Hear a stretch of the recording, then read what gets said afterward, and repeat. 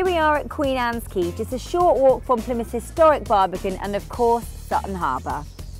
An elegant two bedroom penthouse offering spectacular views as I'm sure you can imagine.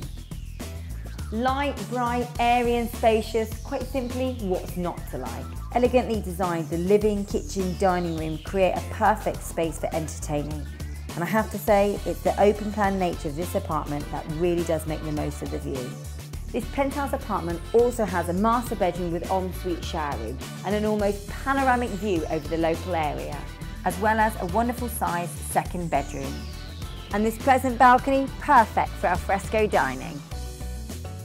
In addition, the property offers two secure parking spaces within the ground floor garage. A fabulous apartment and so conveniently located.